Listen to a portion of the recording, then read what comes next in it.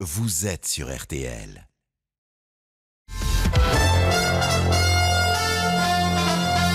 RTL Matin, Agnès Bonfillon. Alors l'actualité ce matin, c'est évidemment l'onde de choc après l'abandon de Benjamin Griveaux, municipal de Paris. Le candidat de la République en marche a préféré jeter l'éponge après la divulgation sur les réseaux sociaux de vidéos intimes. Sa famille passe avant tout, a-t-il expliqué. Coup dur pour l'exécutif à quatre semaines tout juste du premier tour. Il faut très vite trouver un remplaçant et reprendre la campagne, Pauline de Saint-Rémy. Oui, après un premier temps de sidération, d'incrédulité dans l'état-major du parti, les réunions se sont succédées depuis hier en plus ou moins grand comité, mais toujours dans une ambiance Il faut dire que les candidats ne se bousculent pas au portillon pour relever le gant. Loin de là. Pour l'heure, l'ancien secrétaire d'État au numérique, Mounir Majoubi, est le seul à s'être proposé officiellement, mais il est loin de recueillir l'assentiment général. D'autres noms ont circulé depuis hier, celui notamment de la secrétaire d'État, Marlène Schiappa, celui aussi de la ministre de la Santé, Agnès Buzyn. Mais la crise du coronavirus rend l'hypothèse peu probable. Moins connue du grand public, la maire du 9e arrondissement, Delphine Burkli, fait figure de recours possible, tout comme l'élu du 18e, Pierre-Yves Bournazel. Le problème, c'est que tous ces candidats potentiels, pour l'instant, ont dit non. Certains ne s'y voient pas parce qu'ils n'ont pas leur carte à la République en marche, d'autres parce qu'ils s'imaginent mal reprenant tel quel le programme porté jusque-là par Benjamin Griveaux. En tout cas, ce qui est sûr, c'est que le temps presse. La commission d'investiture du mouvement doit d'ailleurs se réunir cet après-midi pour peut-être tenter de tomber sur un accord. Pauline de Saint-Rémy du service politique de RTL, soutien quasi unanime à Benjamin Griveaux hier de la classe politique. Jusqu'ici, on avait vu euh, ce genre de méthode, surtout aux États-Unis. Mais là, en France, euh, c'est vrai que cela provoque une véritable déflagration. Nous en reparlerons euh, d'ailleurs tout à l'heure hein, avec notre invité Bruno Cotresse du CEVIPOF. Le politologue sera notre invité à 9h moins 10. En attendant, on le disait, beaucoup dénoncent cette violation de la vie privée, comme l'a répété le délégué général de la République marche, Stanislas Guérini. Je pense euh, aussi à Benjamin Grévaux qui euh, a subi ces attaques qui ne sont pas dignes de notre démocratie, je vous le dis. Je crois que cela doit nous interroger collectivement sur euh, l'état de notre démocratie. Et je crois que nous devons avoir aussi la responsabilité collective de dire pas ici, pas en France. Ces attaques-là ne sont pas à la hauteur de notre démocratie. Je respecte la décision de Benjamin Grévaux et je veux le remercier parce qu'il a placé le collectif avant sa personne. Stanislas Guérini avec Pierre Collat pour RTL, les réseaux sociaux qui peuvent détruire une candidature, une carrière. Jusqu'ici, Twitter, Facebook ou encore Instagram servaient plutôt les intérêts des personnalités. Et eh bien là, on en voit les limites, comme l'explique Jean-Marc Croyer, spécialiste des réseaux sociaux justement. Les hommes politiques ont trouvé que l'Internet et les réseaux sociaux étaient quelque chose de très utile pour eux, pour leur carrière. Ils ont même été très contents de trouver un canal de diffusion qui contournait les médias traditionnels. Le revers de la médaille, c'est que c'était une arme à double tranchant et que ne plus avoir le filtre des médias traditionnels, c'est également un risque puisque ce genre de vidéos et de propos ne sera évidemment jamais sorti dans euh, la presse traditionnelle. Ce phénomène qui arrive très fréquemment, ça s'appelle revenge porn, c'est ce qui est arrivé à Benjamin Griveaux qui oui, s'est laissé prendre. Au moment où il discutait de propos intimes avec cette jeune femme, il n'était pas en train de se poser des questions à l'internet, est-ce que c'est dangereux, pas dangereux? Il était pris dans euh, sa discussion du moment et il a complètement oublié le contexte, même sa situation d'homme politique et ce qu'il risquait. Alors ces vidéos sont attribuées à Piotr Pavlensky, un artiste euh, russe, réfugié politique en France. Il explique que via son site, il veut dénoncer l'hypocrisie de la classe politique et il promet d'ailleurs d'autres vidéos à venir. Sauf Sauf que c'est totalement illégal, Guillaume Chiez. Eh bien, cette pratique est un délit récent qui peut amener ses auteurs directement devant un tribunal. Depuis 2016, la loi prévoit une sanction pour ce que l'on appelle le revenge porn. En français, vengeance pornographique. Une peine pouvant aller jusqu'à deux ans de prison ferme et 60 000 euros d'amende. Et la loi vise large. Elle sanctionne bien évidemment la personne qui est à l'origine de la diffusion d'une image ou d'une vidéo intime, peu importe d'ailleurs si celle-ci a été captée avec l'autorisation ou non de la victime. Mais la loi vise également tous ceux qui vont ensuite relayer ces images et leur donner ainsi plus de visibilité sur Internet. Ces dernières années, les cas de revenge porn se sont multipliés avec l'explosion des réseaux sociaux, la plupart du temps à la suite d'une rupture amoureuse. Guillaume Chiez pour RTL, l'avocat de Benjamin Griveaux, celui qui est désormais ex-candidat à la mairie de Paris, a évidemment annoncé un dépôt de plainte.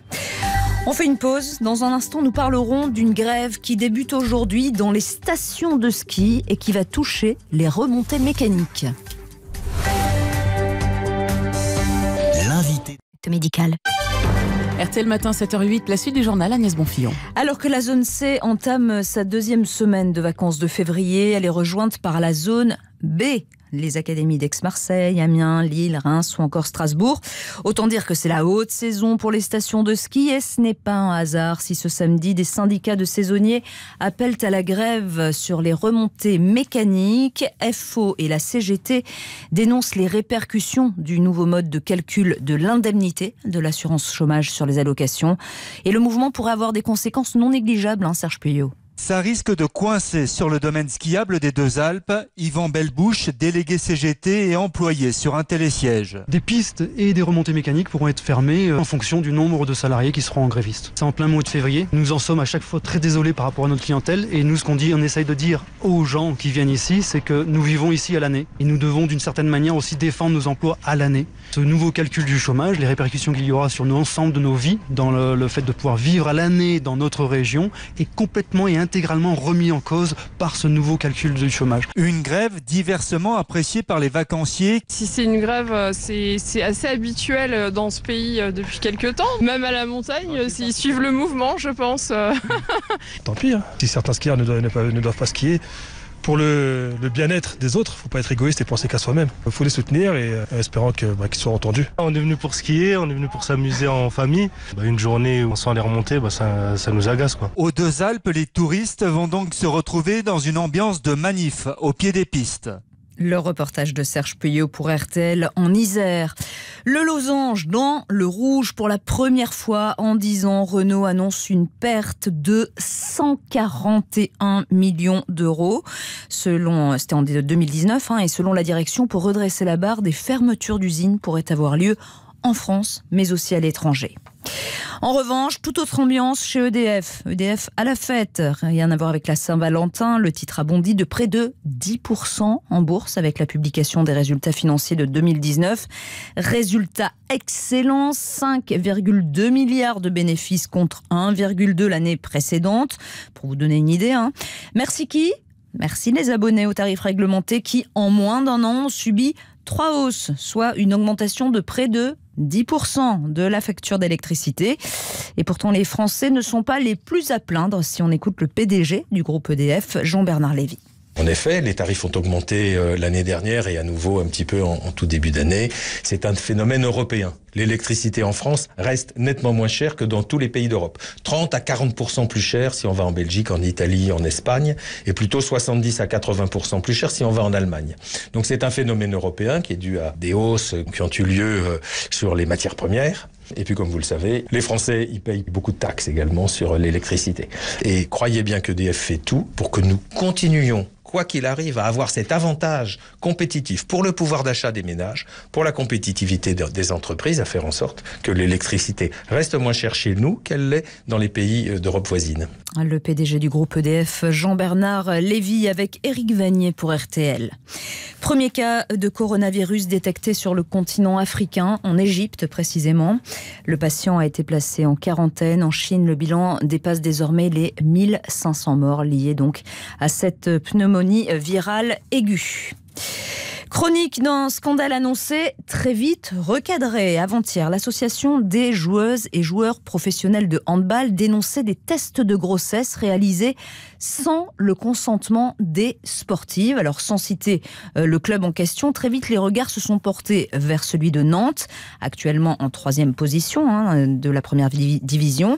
Là-bas, on est très clair. Oui, oui, ces tests ont eu lieu effectivement. Les principales intéressées étaient au courant, donc il n'y a aucune affaire, Philippe Audouin. Le test de grossesse ne fait pas partie de ceux prescrits obligatoirement pour une handballeuse de haut niveau. Reste que si le médecin du club nantais l'a réalisé, c'est selon les joueuses, en toute transparence, l'arrière international du Nantes Atlantique Handball, Camille Eglon-Sorina. C'est la première fois qu'on a ce genre de test, mais ce qui est très important de savoir, c'est que ça n'a pas été caché et euh, surtout c'était vraiment dans notre intérêt et c'est pour ça qu'on est là, nous, à cette table, qu'on a confiance en notre médecin, qu'il a fait ce qui était le mieux pour nous. Aucune de nous ne remet en question euh, le professionnalisme de Thibaut et son intention. Le médecin du club, justement, n'a pas souhaité s'exprimer, mais le président nantais Arnaud Pourroy sa bonne foi. J'ai pas l'impression que notre médecin ait fait quelque chose de contraire à l'éthique, à la morale et qu'il l'a fait euh, en son âme et conscience et pour bien faire. Et que bien entendu, euh, ni les entraîneurs ni les dirigeants n'ont eu accès à aucun moment que ce soit sur les informations médicales qui n'appartiennent qu'à la joueuse et au médecin. Dans ce contexte, le club nantais se réserve le droit de poursuivre le syndicat des joueurs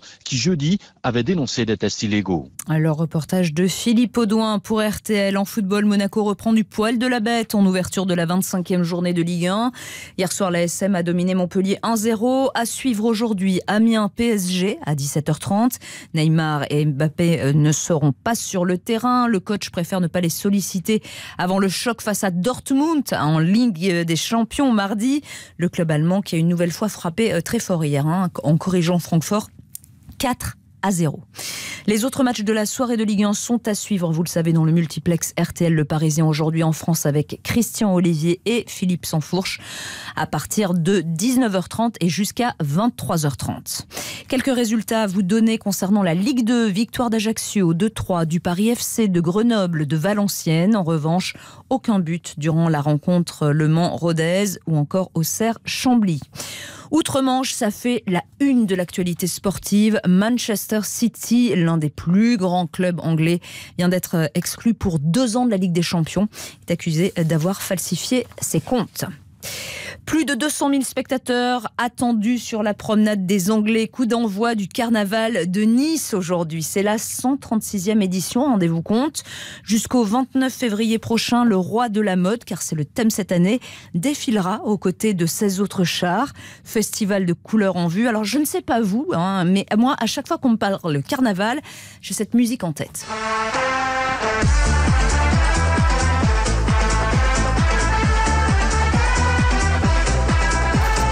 Merci de vous rasseoir, Valérie et Peggy.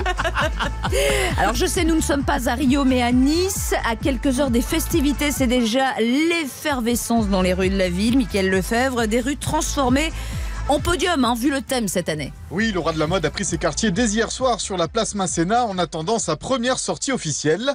Costume et cravate bleue, chemise blanche, sa tête ornée d'une couronne bien sûr et de petites lunettes très stylées a été fixée jeudi matin devant Jean-Pierre Pauvignat, le doyen des carnavaliers niçois. J'en ai la chair de poule de voir monter comme ça. hein. Ça fait 69 ans que je le fais et j'en ai toujours la chair de poule. Karl Lagerfeld, Sonia Riquel, Jean-Paul Gaultier, ils seront tous de la fête. Sans oublier, tradition de la satire oblige, le couple Macron traîné par un Stéphane Bern grimé en fou du roi, comme le détaille Cédric Pignataro, le concepteur du char. Donc il tracte un carrosse où derrière vous avez le couple royal donc qui se fait acclamer par sa foule. À quelques heures du premier défilé, la pression monte donc, y compris pour Jessica Paolino, la reine du carnaval. J'ai une très grosse robe, donc euh, un peu la, la pression euh, du costume euh, et du rôle euh, qui va avec, mais on va endosser ça avec le sourire et euh, ça va très bien se passer, j'en suis sûre. Un carnaval de Nice qui débutera dès 14h30 par la traditionnelle bataille de sous un grand ciel bleu et des températures printanières. Le reportage de Mickaël Lefebvre à Nice pour RTL. Bonjour les filles, je me réveille à l'instant et je vous entends, vous êtes vraiment mes vitamines.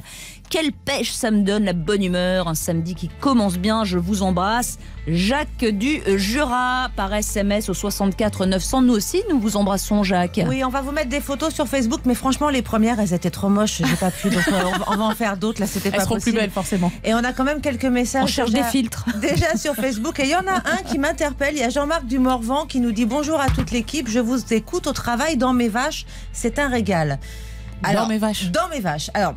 Je sais Oui, pas, bah, je sais pas ce qu'ils font avec les vaches dans le Morvan, mais là, je vous écoute au travail dans avez- mes vaches. Vous avez l'esprit très mal placé. Enfin, c'est franchement, dans mes vaches. Oui, bah dans mes vaches. Oh là là. Pardon Allez, on-